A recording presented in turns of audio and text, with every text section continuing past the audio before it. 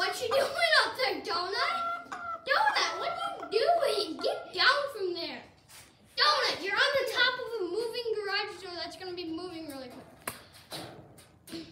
What the heck are you doing, Donuts? Donut.